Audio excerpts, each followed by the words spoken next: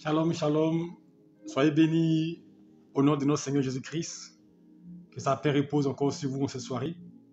Et que son esprit vienne encore nous assister, qu'il vienne nous bénir et nous couvrir encore par sa grâce, de son onction, pour que nous puissions être édifiés, restaurés par sa présence, et que chacun de nous, nous puissions encore, à travers ce moment, être impactés par lui et par sa parole. Que le Seigneur vous bénisse abondamment, que sa grâce inonde vos vies. Shalom à toi, mon reine. Que le Seigneur bénisse. Alléluia. Nous prions que la paix de Dieu demeure à vos côtés. Sois béni. Maman Gigi, sois béni, mon Dieu, merci. Shalom à toi, ma fille, Emmanuela. Que la paix de Dieu soit avec vous et que sa grâce vienne inonder vos vies en cette soirée afin que vous soyez encore édifiés dans sa présence. Alléluia. Très heureux encore d'être là afin de partager la parole du Seigneur avec vous. Alléluia. Nous allons prier, recommander ce moment en du Seigneur pour qu'il vienne prendre le contrôle de cet instant. Sois béni, Maman Adélaïde, que la grâce de Dieu repose sur toi. Sois béni, Paul Béatrice.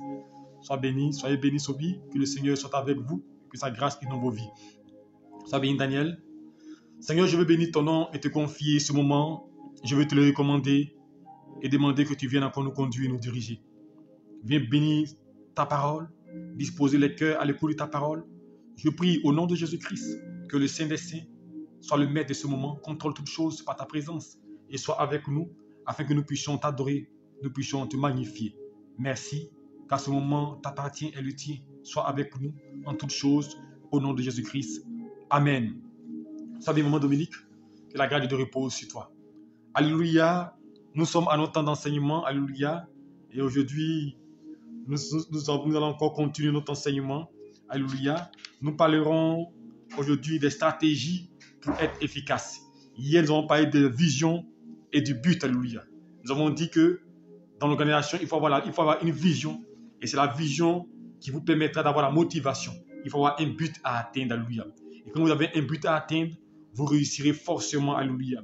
Et quand vous n'avez pas de vision, vous tournez en rond. Nous avons parlé de Jacob qui travaillait pour Laban. Et à un moment donné, Laban a dit il faut rester. Mais il a compris que ce n'était pas ça sa vie. Il avait une vision pour sa vie aussi. Il devait aussi suivre la voie que Dieu a tracée pour lui. Abraham avait une vision, alléluia. Paul dit, je cours vers le but. Nous devons avoir des objectifs à atteindre, alléluia. Et ce soir, nous parlerons de stratégie, alléluia. Et ça, c'est essentiel. Je veux que tu sois attentif, alléluia, à cet enseignement. Nous sommes tous dans l'organisation, alléluia, la consultation divine et l'organisation pour être efficace. C'est l'organisation depuis hier, avant-hier plutôt. Donc, c'est toute la stratégie est dans l'organisation, alléluia. Donc, les stratégies pour être efficaces. Vous savez, si vous, devez être, voulez être efficace, nous voulons être efficaces, nous devons avoir des stratégies. Alléluia. Parce que avoir une vision, avoir un objectif sans stratégie, c'est comme si on n'a pas les moyens pour réussir. Alléluia. Parce que les stratégies vont être les- les méthodes, vont être les moyens que tu vas mettre à ta disposition pour atteindre ton but ou pour réaliser ta vision. Alléluia.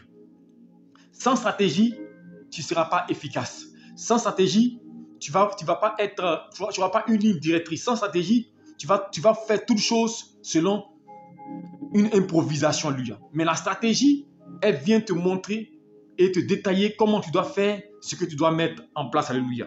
Donc ce soir, nous parlerons de la stratégie. Alléluia.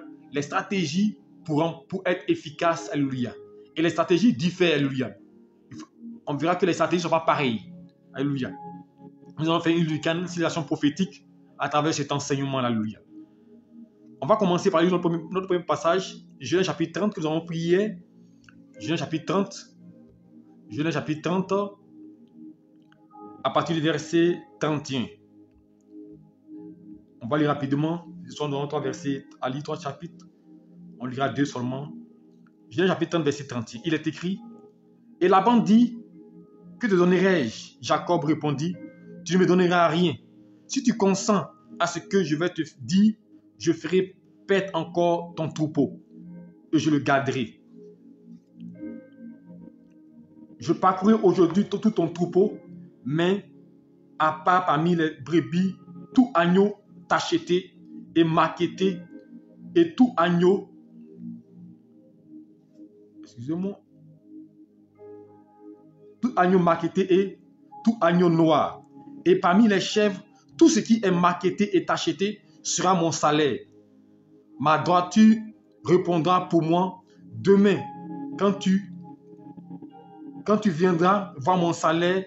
Tout ce qui ne sera pas acheté et maquetté parmi les chèvres et noir parmi les agneaux, ce sera de ma part. Un vol.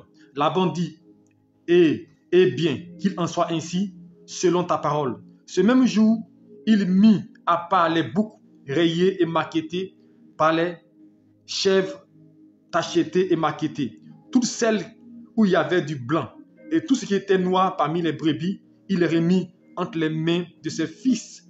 Puis il mit, il, il mit l'espace de trois journées de chemin entre lui et Jacob, et Jacob fit perdre le reste du troupeau et de Laban. Verset 37. Jacob prit des branches, écoutez bien, Jacob prit des branches vertes de, de peuplier, d'amandier et de, et platane. Il pela de bonnes branches, mettant à nu le blanc qui était sur les branches, puis il plaça les branches qu'il avait pelées dans les ogres, dans les abreuvoirs, sous les yeux des brebis qui venaient boire, pour qu'elles entassent en chaleur en venant boire. Les brebis entrant en chaleur près des branches, elles faisaient des petits rayés, tachetés et maquettés. Jacob séparait les troupeaux, il mettait ensemble ce qui était rayé et tout ce qui était noir dans le troupeau de Laban. Alléluia. Et je, viens au verset 43. Cet homme devint de plus en plus riche et eut, il eut du menu bétail en abondance des servantes et des serviteurs, des chameaux et des ânesses. Alléluia. Alléluia. Les stratégies pour être efficaces et performantes. Hier, nous avons vu que Jacob était avec Laban. Et Laban lui dit, Jacob, je veux que tu, je veux que tu sois là toujours et je vais te donner un salaire. Jacob dit, non, je refuse un salaire parce que moi aussi et ma famille, on doit aussi avoir une vision, on doit aussi avoir des objectifs à atteindre. Alléluia. Mais si tu veux que je reste, voilà ce qui va se passer. Dans les brebis, les brebis tachetées et maquettées seront pour moi, et celles qui seront blancs seront pour toi. Alléluia. Et noir. Alors Laban a vu une bonne affaire parce que pour lui, pour avoir des, brebis tachetées et maquettées, ça sera quelque chose de compliqué, difficile. Donc pour lui, il pensait que il allait avoir le dessus sur Jacob. Il allait pouvoir duper Jacob encore et le maintenir là. Alléluia. Alors Jacob va user de stratégie. Parce qu'il a compris que s'il n'avait pas de stratégie, il ne pourrait pas avoir de brebis en grande quantité. Alléluia. Et comme Jacob maîtrisait, alléluia, même euh, la bergerie, il maîtrisait le troupeau, que près de son père, il conduisait le troupeau. Alors il va mettre une stratégie en place. Quelle est cette stratégie-là? La Bible déclare que Jacob va prendre des branches vertes, peupliers, d'amandiers et de platanes. Il va passer ces branches-là près d'une rivière, d'une eau, alléluia. Et lorsque les brebis blancs viennent, alléluia, pour boire, je ne sais pas quel système, il avait un système, mais elle rentrait en chaleur. Et en entrant en chaleur, elle s'accouplait avec les autres brebis qui étaient achetées, alléluia. Et lui, ça lui donnait quoi? Des brebis tachetées et rayées. Donc ça augmentait son butin, ça augmentait. Et chaque fois, il faisait cela. Et en faisant cela, il va devenir de plus en plus riche. Il n'est pas devenu riche en priant. Il n'est pas devenu riche en gênant. Il n'est pas devenu riche en, passant son temps à, combattre. Mais il a une stratégie. Chrétien, la stratégie, elle est importante dans la marche.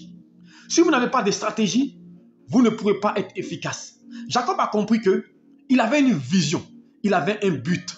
Mais pour réaliser son but et sa vision, il fallait qu'il ait une stratégie en place. Sans stratégie, comme il est là à avoir des brebis. Donc j'explique en, quelque chose de plus simple. Les brebis blancs et noirs. Il a dit à, à, Laban, quand elles vont mettre bas, ce qui sera tacheté et rayé, sera, ça sera ma part. Mais le pourcentage pour que les brebis blanches puissent avoir fait des brebis tachetées et rayées sont minces. Alléluia. Parce qu'il faut que ça coupe. Alléluia. Et qu'est-ce qu'il va faire? Il va trouver un système. Alléluia. Il va prendre des, branches d'amandier, des algues. Peut-être que certainement il connaissait le processus, comment se faisait. Il va, il va le mettre en place. Et quand les brebis blanches venaient pour boire de l'eau, Alléluia, à ce moment, la Bible elle rentrait en chaleur. et elle s'accouplait avec les brebis noires. Et cela donnait, donc le, mélange de ces deux-là donnait tacheté. Donc il faisait tout pour que les brebis blanches puissent s'accoupler chaque fois avec les brebis noires pour qu'il y ait les tachetés, les rayés.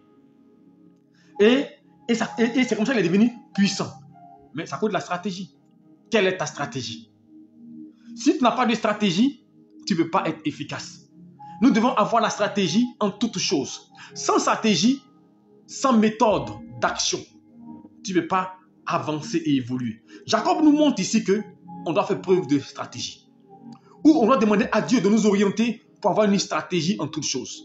Dans la prière, tu dois avoir une stratégie pour être efficace. Alléluia. Dans la prière, tu dois avoir une stratégie. Parce que si tu n'as pas de stratégie dans la prière, ça sera difficile. La stratégie peut être diverse selon chacun, selon l'allure de chacun. Alléluia. Certains te diront que moi, je, vais, mener mon combat à minuit pour être efficace. D'autres vont te dire à minuit, à midi. D'autres vont te dire à 16 heures. D'autres vont dire très tôt le matin. Chacun mettra sa stratégie en place et va dire, bon, moi je vais commencer par tel type de prière, par la prière de combat, la prière de proclamation. Je vais, je couper les liens. Mais il faut une stratégie, il faut une méthode, alléluia. C'est la méthode que tu mets en place pour arriver à l'objectif, alléluia. Or, sans stratégie, il est difficile. Nous avons fait l'enseignement sur la prière. En faisant l'enseignement sur la prière, c'était pour montrer la stratégie, la méthode dans la prière. Parce que quand vous priez, je vous montre la stratégie aussi. Je ouvre le cadre. Si vous n'avez pas la stratégie dans la prière, qu'est-ce que vous allez faire? Vous devez comprendre qu'il y a des moments, vous, aurez, vous devez mener le combat spirituel. C'est ça la stratégie. On doit mener le combat spirituel là par rapport à l'environnement. Et en menant le combat spirituel, sur quel angle je commence? Je peux mener le combat spirituel en renversant, en détruisant, en dépouillant, en arrachant, en, en, prenant ce que Dieu m'a volé. Alléluia. Comme en renversant les hôtels et les alliances. Donc, selon euh, euh, l'influence de ma vie, que sur ma vie, la stratégie est, est démise. Ça veut dire que chaque stratégie répond, alléluia, à un besoin qui va se définir. Si par exemple c'est un démon, c'est un esprit des eaux, un esprit de mort, un esprit d'échec, il va se dire que tu vas commencer à quoi? À combattre des démons. Mais qu'est-ce que tu vas mettre en place? Tu vas mettre le jeûne et la prière. Jésus a dit quoi? Ce type de monde, de monde ne sort que par le jeûne et la prière. Ça veut dire que il y a des moments, tu, vas, tu seras obligé de jeûner pour qu'un esprit quitte ta vie. Il y a des moments, tu seras obligé de faire jeûne sec. Il y a des moments, tu seras obligé de faire des mini-veilles de prière. Il y a des moments, tu seras obligé de, de, faire des prières assidues chaque 5 heures du matin, 4 heures du matin. Donc, il faut avoir une stratégie, même pour la bataille, même dans la prière, nous devons avoir la stratégie. Si vous n'avez pas de stratégie, vous allez faire des choses de manière traditionnelle, de manière habituelle. Ça devient la routine. Or, ce qui est de la routine, il n'y a pas d'effet dedans. Or, la stratégie, elle, se définit par rapport aux besoins, par rapport à ce qui s'impose à vous. Donc, ayez la stratégie. Jacob a une stratégie et ça marchait. La Bible dit que Jésus montait toujours à la montagne. Il montait à la montagne pour aller prier. La stratégie, c'est la méthode que vous mettez en place. C'est les plans que vous mettez en place afin de réaliser votre rêve et d'atteindre votre objectif. Alléluia. Et Jacob l'a si bien compris, il a mis une stratégie en place. Alors, en lisant la Bible, j'ai compris que la stratégie était très importante. Car sans stratégie, c'est difficile d'arriver à bon port. Alléluia. Je prends le côté, on va revenir encore dans la Bible avant de revenir sur le plan application. Regardez une chose. Quand vous lisez Josué chapitre 6, la Bible déclare que Dieu dit à Josué, d'abord Josué envoie des hommes aller explorer, aller explorer Jéricho. Alléluia. Ils vont explorer Jéricho. Alléluia. Un point que j'oubliais, que j'aimerais rappeler, pour mettre avant de mettre la stratégie en place, il faut connaître vos forces, vos faiblesses, l'environnement qui vous entoure. Parce que si vous mettez une stratégie sans tenir compte de ça, c'est difficile. Par exemple, tu mets une stratégie, tu dis, tu veux, tu veux faire des jeux, tu, mets une stratégie de prière, de jeûne sec. Alors que tu sais que tu n'es pas capable de jeûner jusqu'à 16h, 17h. Mais tu dis, je vais jeûne sec. Donc, avant de mettre une stratégie en place, vous devez voir l'environnement, voir vos forces et vos faiblesses. Avant de mettre une stratégie de combat en place, vous devez voir la force, alléluia. Comme vous devez connaître la force, alléluia, des démons que vous combattez, des esprits que vous combattez, vous voir l'ampleur de la possession, alléluia. Quand par nous en délivrance, lorsqu'on effectue une délivrance, c'est selon, l'ampleur de la délivrance, selon l'ampleur de la possession, on va mettre une stratégie en place. On va dire par exemple, toi, tu as fait trois jours de jeûne sec, toi, tu as passé par la cure d'âme, toi, viens faire telle chose, telle chose. Donc, les stratégies diffèrent selon l'ampleur de la situation. Et c'est pareil dans tous les domaines. Donc, il faut voir l'environnement. Il faut étudier l'environnement d'abord avant de mettre une stratégie en place. Alléluia. Donc, Jésus dit aux, enfants d'Israël, allez à Canaan, allez à Jéricho, à esprit Jéricho. Alors, ils vont à l'esprit Jéricho et ils vont comprendre que Jéricho est une ville barricadée. Comprenez bien. Une ville barricadée. Une ville où il y a des géants, où ils sont forts. Alléluia. Et ils sont nombreux. Alors que Israël, eux, ils ne sont pas nombreux. Alors là, il faut une stratégie parce que vous ne pouvez pas les combattre des personnes qui sont nombreux, qui sont si puissants de front. Alléluia. Alors ils vont prier Dieu. Vous pouvez prier Dieu pour qu'il vous donne une stratégie. Alléluia. Ou mais Dieu peut vous inspirer une stratégie. Alors Dieu va donner une stratégie à qui? À Josué. Alors j'ai compris par là que la stratégie aussi, elle est importante dans la marche chrétienne. Parce que pourquoi Dieu a donné une stratégie à, Josué C'est parce que la stratégie est importante. Il dit à Josué, ce que vous allez faire, n'allez pas combattre de front, c'est quand même les, les, hommes de Jéricho. Sinon, ils vont vous détruire. Non, non. Ce que vous allez faire, pendant six jours, écoutez bien, pendant six jours, faites le tour une fois par jour. Donc, une fois par jour, Israël devait se lever et faire le tour. Vous voyez la stratégie? Il devait faire le tour une fois par jour. Pendant six jours. Donc, pendant six jours, ça fait quoi? Ça fait six tours. Il dit le septième jour, vous ferez sept fois le tour. Alléluia. Dans le septième jour, ils ont fait sept fois le tour. Ça fait quoi? Ça fait 13 tours qu'ils ont, ils ont parcouru. Et les murs de Jéricho, se sont ébranlés.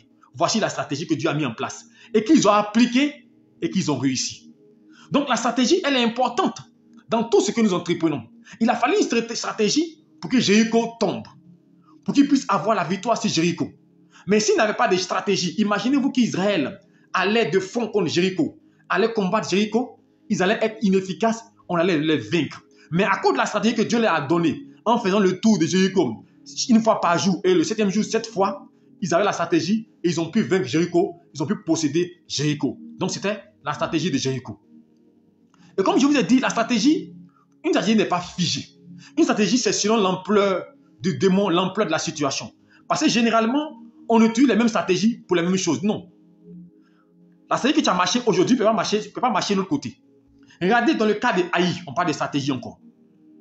Lorsqu'il va aller combattre Haï, Josué va faire le même processus. Il va envoyer des espions pour aller, explorer Haï, qui est une ville. Et quand ils vont partir explorer Haï, à l'instar de, de, Jéricho comme ils ont exploré, ils sont revenus et ils ont dit à, Josué, ce peuple-là est nombreux, plus que nous. Ils sont forts, ils sont puissants. Alléluia. Mais regardez la première fois, ce qu'Israël va faire. Ils n'ont pas eu de stratégie. C'est pour vous dire que le manque de stratégie vous, expose à la défaite et vous rendra inefficace. Quand vous lisez chapitre 7, chapitre 8, Alléluia, vous allez voir tout cela. Vous lisez tout le chapitre, chapitre 7, verset 8, chapitre 7, chapitre 8 plutôt. Ils vont aller combattre de fond Haï. Alléluia. Et la Bible déclare Haï va les frapper de l'épée. Ils vont tomber, près de 30 000 hommes d'Israël vont tomber. Alléluia. Et ils vont revenir. L'autre côté, ils ont demandé une stratégie, c'est pourquoi ils ont pu vaincre Jéricho. Mais là, il y avait deux problèmes qui ont fait qu'ils ont perdu. Le premier problème, ils n'avaient pas de stratégie. Le deuxième problème, il y avait de l'interdit au milieu de vous. Je veux dire à quelqu'un aussi, pour être efficace, pour être efficace, pour être performant, il faut que ta vie soit en adéquation avec Dieu. Il faut que tu puisses toujours demander pardon, Seigneur, te repentir devant Dieu. Ne va pas ne mets pas des stratégies en place quand tu sais que tu es handicapé, alléluia, par un péché, par une iniquité. Ça va te fragiliser, alléluia. Demande pardon à Dieu avant d'aller en bataille. Et Haï a vaincu Israël parce qu'Israël a, a, marché d'une manière gauche. Akan a, a, touché à l'interdit. Ayant touché à l'interdit, donc tout le tout Israël était quoi? Sous le poids du péché. Parce qu'un seul a, mis à faire entrer le péché parmi Israël. Et dans la, même position là, ils vont aller combattre et ils vont perdre.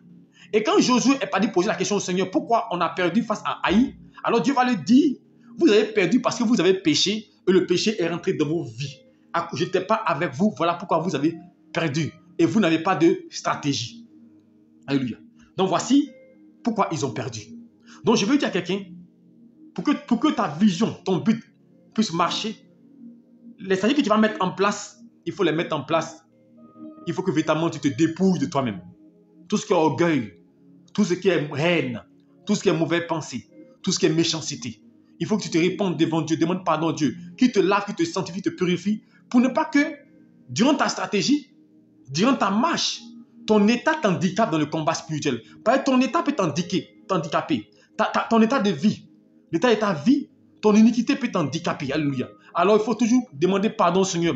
Se répandre avant de mener une bataille, avant d'avoir une stratégie. Alléluia. Alors qu'ils vont le faire, regardez la différence entre la stratégie de, Jéricho et de Haï. À Jéricho, je vous ai dit que la stratégie était quoi? Il devait faire une fois le tour chaque jour pendant six jours. Et le septième jour, il devait faire sept fois le tour, ça fait 13 tours. Mais à Haï, c'était différent. À Haï, Dieu va dire à... Joseph va dire, ce qu'on va faire, mettez-vous en embuscade. Mettez-vous en embuscade. Dit, un grand nombre du peuple, mettez-vous en embuscade. Moi un groupe, on va, on va marcher contre la vie de Haï. Et quand ils vont sortir vers nous, on va prendre la fuite. Et quand ils vont commencer à nous poursuivre, ils vont penser qu'on on fuit devant eux. Et en nous poursuivant, vous allez passer par derrière, posséder la ville, et nous, et puis ceux qui étaient en groupe vont les, prendre en embuscade. Voici la stratégie qu'ils ont mis en place. Et elle a été payante. Parce qu'effectivement, ils sont mis en embuscade un grand nombre. Et Josué et ce groupe ont commencé à marcher vers la ville. Et quand ils ont vu ce groupe, ils sont sortis vers eux. Et quand ils ont commencé à sortir vers, vers Israël, ils ont pris, Israël a pris la fuite. Et ils ont commencé à les pourchasser, les poursuivre. Et en les poursuivant, ils vont laisser la ville ouverte. Ceux qui étaient en embuscade vont prendre la ville et ils vont être, ils vont être pris en embuscade eux-mêmes et ils vont être détruits, ils vont être anéantis. Mais pourquoi ils ont réussi ainsi? Parce qu'ils avaient quoi? Une stratégie. Chrétien, tu veux réussir, il te faut une stratégie. Quelle est la stratégie que tu as mis en place pour atteindre ton objectif? Si tu n'as pas de stratégie, tu ne pourras pas réussir. J'ai pris trois faits pour montrer l'importance des stratégies. J'ai pris l'exemple de Jacob. Comment il a fait que les brebis étaient marketées, étaient rayées, et pour qu'il puisse avoir des brebis, alléluia. Et il a eu un grand nombre, la Bible dit puissant. J'ai pris l'exemple de Jéricho. À travers la stratégie, stratégie Jéricho est tombé. J'ai pris l'exemple de Haï. L'exemple et Haï est tombé. La stratégie diffère selon l'ampleur du problème et du besoin. Ne prenez pas la même stratégie pour toutes choses. Je vais vous une parenthèse sur les actions prophétiques. Alléluia. Ce sont des stratégies.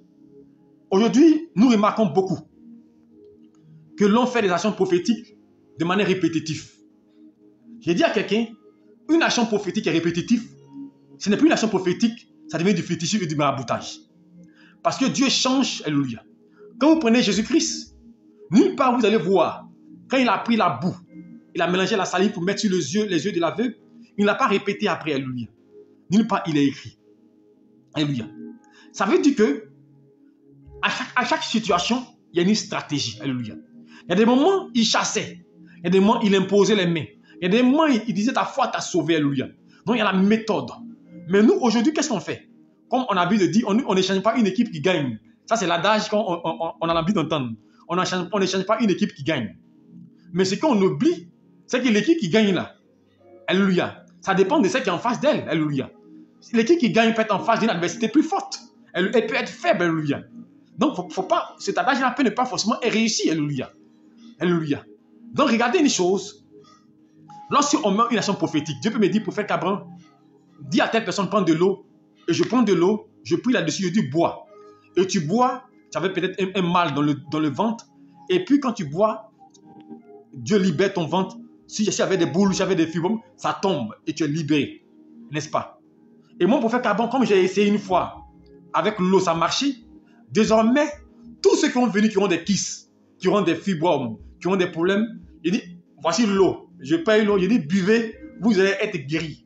Et malheureusement, on, va comprendre que ces personnes vont boire de l'eau en quantité, mais il n'y aura pas la guérison. Parce que l'action prophétique, elle est limitée selon le besoin de quelqu'un. Selon l'inspiration Dieu donne, Dieu inspire une pensée. On peut dire à des personnes, prends de l'huile, comme une fois, il me rappelle une année, il y a une fille, femme qui avait, qui un cancer de sein, c'était en 2003. Et quand je suis parti là-bas, elle avait un cancer, il y avait une boule qui, qui, qui, commençait dans le sein. Et Dieu m'a dit, prends de l'huile, envoie de l'huile. Et j'ai consacré lui, je dis, applique seulement sur ton sein. Elle a appliqué. Et au bout de quelques, de quelques semaines, un mois, et de la boule a disparu dans le sein. Donc désormais, bon, imaginez-vous, 2003, j'ai essayé, ça a marché. Donc maintenant, tous les femmes m'ont dit, pasteur, j'ai une boule dans le sein, j'ai un cancer. J'ai dit, bon, prenez, prenez de l'huile je prie dessus et appliquer. Non, c'est pas comme ça que ça se fait. Est-ce que vous comprenez? C'est pareil pour la stratégie. C'est pas comme ça. On fait toutes choses selon l'inspiration de Dieu. Donc, il faut avoir une stratégie dans tout ce que vous entreprenez. Si vous n'avez pas de stratégie, vous ne pouvez pas être efficace et performant. C'est la stratégie qui va vous donner une ligne de conduite et une manière de marcher. Alléluia. Sur le plan financier, il faut que vous ayez une stratégie. Parce que la stratégie va faire quoi? Va vous permettre de pouvoir mettre des choses en place. Je dis par exemple, je veux, je veux m'acheter une maison. Je veux m'acheter une voiture, n'est-ce pas? C'est la vision que j'ai. Et mon but, c'est le temps que je me donne pour accomplir cela. Alléluia. Mais il faut que je mette des stratégies en place pour atteindre cet objectif-là. Mais quelle est la stratégie? Je vais, je vais quoi? Comme je disais, étudier. Je vais essayer de voir la voiture que je veux, combien ça coûte, n'est-ce pas? Peut-être 5, 10 millions, 7 millions, 8 millions. Et je vais voir cela. Et par rapport à cela, je vais mettre une stratégie en place qui va être quoi? Essayer de mettre une économie en place pour pouvoir réaliser cela. Ou monsieur doit toucher des personnes, aller voir des personnes. Donc je vais mettre une stratégie en place pour recueillir ces fonds pour que au temps fixé, je puisse réaliser mon but. Mais s'il n'y a pas de stratégie, je suis assis là. Seigneur, demande une voiture. Seigneur, mais tu ne vas rien voir. Il faut une stratégie. C'est pareil. Lorsqu'on veut, on veut, on veut construire son temple, Alléluia. Lorsqu'on veut construire le temple, on veut acheter le temple. On met des stratégies en place qu'on appelle les fêtes de moissons. Alléluia. On met en place, on vote des montants. Chacun prend, on peut le faire sur 2, 3 ans, 4 ans, 5 ans pour atteindre le but et pour payer le terrain. Alléluia. Ce sont des stratégies. Mais sans stratégie, si tu n'as pas de stratégie, et que tu penses que ça descend du ciel, ça va descendre du ciel, ou même Dieu va faire descendre tout ce que tu veux du ciel, non. On met une stratégie en place pour réaliser un but, un projet. Alors, il faut avoir une stratégie dans ce que tu fais, avoir des stratégies. Si tu n'as pas de stratégie, tu ne pourras pas arriver à bon port. Si tu n'as pas de stratégie pour ta famille, pour ta vie, sur le plan financier, sur le plan social, tu n'as pas de stratégie, ça difficile. Pourquoi j'ai parlé le premier jour d'économie. Alléluia. Apprendre à économiser, apprendre à épargner, apprendre à faire des assurances. Alléluia. Tout ça des stratégies. Alléluia. Alléluia. Si tu n'as pas de stratégie, tu ne peux pas avancer. Alléluia. Une maman parmi nous qui me disait, mais pasteur, j'ai bloqué un truc pendant une période. Mais elle a fait, et cela lui a permis aujourd'hui d'acheter son terrain et de construire. Alléluia. Et moi-même, je suis le maître d'ouvrage parce que moi-même, je suis à la tâche. Mais parce qu'elle a une stratégie pour dire à ce moment précis, il faut que je puisse faire, il faut que mette telle chose en place. Alléluia. Et elle a fait même des tontines. C'est ça, alléluia. C'est ça la stratégie, alléluia. Je me rappelle, je vous donne ma, méthode. Quand je, quand je voulais acheter le véhicule que j'ai, je sais que je ne suis pas salarié pour que chaque je puisse aller à la banque pour dire donne-moi du crédit. Et je sais que aussi, chaque mois, ce n'est pas certain que j'ai telle somme d'argent. C'est selon les dons, mais selon le besoin, ce que Dieu, Dieu voudra me bénir. Alors, qu'est-ce que j'ai fait? J'ai dit, bon, j'ai commencé à avoir le montant de la voiture que je veux, la voiture que je veux. J'ai terminé le montant. J'ai dit, bon, pour que je puisse atteindre, atteindre ça, il faut que j'aille économiser telle somme chaque mois. Alléluia. Mettre épargne chaque mois. Voilà ma stratégie que j'ai mis en place. Mais quand j'ai vu ça, c'est encore faible. Alors, je dis, c'est quoi De faire une tontine. Donc, je m'inscris je fais une tontine, je fais deux bras dans la tontine. Donc ce jour-là, j'ai décidé de me priver. Il n'y a pas de sacrifices, il n'y a pas de sacrifices. Vous voulez atteindre un but, faites des sacrifices. Donc j'ai commencé à faire des sacrifices et faire tontine. Vous voyez Donc je me suis donné, j'ai dit, bon, quand je vais prendre la tontine là, avec les différents sacrifices, quand je vais mettre en place, et selon le soutien des, des, cinq personnes, parce que quand vous voulez demander quelqu'un quelqu'un vous aide, qu'est-ce que vous, avez? Vous voulez acheter quelque chose, ah, j'ai 2 millions, j'ai 3 millions, j'ai 5 millions, je veux que tu me portes une, assistance. Mais tu n'as rien, tu dis non, aidez-moi. Non, ça c'est compliqué. Donc, c'est comme ça que j'ai mis en place. Et j'ai pu mettre, réunir les moyens financiers pour pouvoir faire face. Donc, sans stratégie, vous n'y arriverez pas. Dans la vie, on n'improvise pas. Je vous dis, tous ceux qui improvisent dans la vie, tous ceux qui, improvisent ne réussissent pas. Même dans le ministère, même dans la vie chrétienne, même dans la marche, dans les affaires, dans le travail. Si vous improvisez, vous n'arriverez à rien. Toute chose, il faut la préparer, il faut des stratégies, il faut des méthodes. Alléluia. Si vous n'avez pas de méthode, vous ne serez pas fort. Et je vous ai pris l'exemple de, de, Jacob, l'exemple de, de Jéricho, l'exemple de Haï, pour montrer que la stratégie, elle est importante. Car si vous n'avez pas de stratégie, vous serez faible, vous ne serez pas performant. Vous voulez être stable financièrement, ayez une stratégie. Vous voulez stable, stable dans tous les domaines, ayez une stratégie. Vous voulez bâtir votre vie, ayez une stratégie qui vous permettra d'arriver à votre objectif.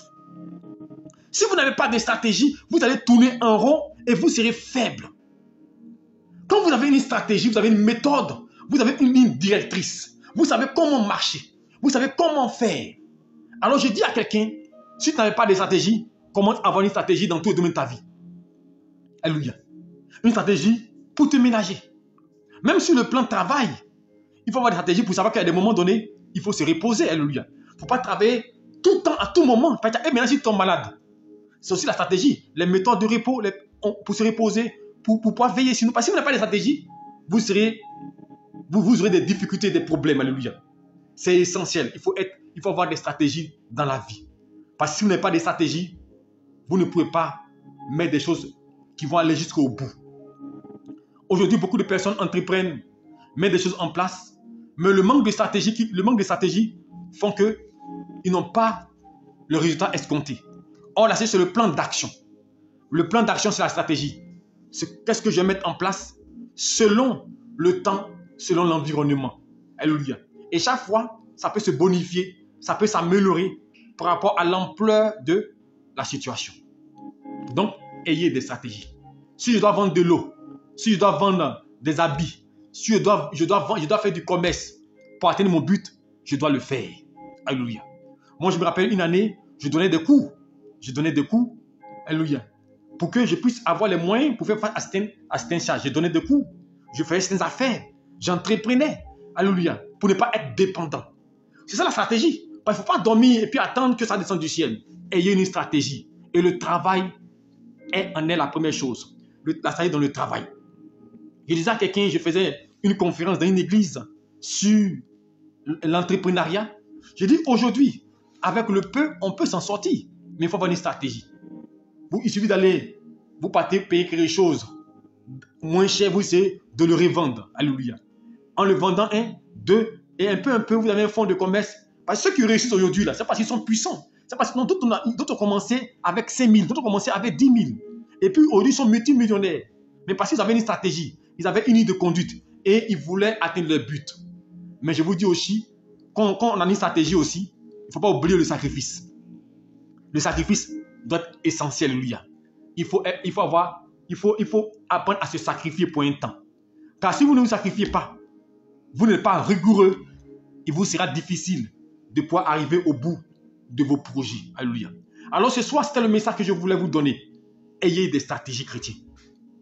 Dans vos prières, dans vos jeûnes, dans votre marche, ayez des stratégies. Parce que Satan, il rôde. Il cherche des moyens. Lui, il met des plans en place. Il met des stratégies en place pour nous déstabiliser, pour nous, pour nous détruire. Mais nous, on on n'a aucune stratégie. On vit le jour le jour. Non, même pour ta vie, même le quotidien, on a des stratégies. On a une manière de marcher, on a une manière de faire. Il y a quelque chose qu'on met en place, on s'organise, alléluia, afin d'atteindre un but. Mais si on n'a pas de stratégie et qu'on vit le jour le jour, on met tout sur le Saint-Esprit. Non, non il, faut, avoir des stratégies, des méthodes d'action, alléluia. Alléluia. Parce que tout, aujourd'hui, les chrétiens ont trouvé une méthode. Le Saint-Esprit est notre bouc émissaire. Non, ce n'est pas, pas l'esprit. Ah, l'esprit, il est très organisé. L'esprit est très organisé. L'esprit est très organisé. Alléluia. Ayons des stratégies, des méthodes, des moyens pour atteindre nos buts. Ce qu'on appelle les missions. Alléluia. Et tu vas voir que tu vas réussir dans toutes tes entreprises. Et les gens te diront, mais pourquoi tu es efficace? Parce que toi, tu as une stratégie que tu mets en place. Tu as une méthode de travail. Alléluia. Tu as une méthode de travail. Alléluia. Pour que lorsque nous, on, faisait, je fais ma soutenance en master, vous savez, quand vous voulez faire une en master, il y a, ce qu'on on, on, appelle la méthodologie. Et la méthodologie, c'est elle qui détermine le travail que tu vas faire. Donc, si tu n'as pas de méthodologie pour, pour, pouvoir, pour pouvoir définir ton sujet, alléluia, tu vas, tu vas, tu vas faire force route, alléluia. Parce que quand, quand, quand, quand, les professeurs prennent ton, ton, ton travail, l'intérieur, mais souvent, ne les intéresse pas. Mais c'est l'extérieur, la méthode. Donc, la stratégie, elle est essentielle. Si vous n'avez pas la méthodologie, vous n'avez pas la stratégie, vous n'avez pas la méthode de votre vie, je vous assure, vous allez cogner la tête. Vous allez tout recommencer à zéro parce que vous avez une stratégie pour avancer et pour évoluer. Alléluia. Toutes choses, nous devons avoir des stratégies. Et c'est ça, je dis, les méthodes. Dans la prière, on ne prie pas dans le vide. Souvent, je vois des gens chrétiens prier, ils prient dans le vide. On mélange tel type de prière. Non. il, faut, il faut tenir compte d'une certaine, certaine ligne directrice. Je commence par un point A pour arriver à un point B. Alléluia. Je ne mélange pas les choses.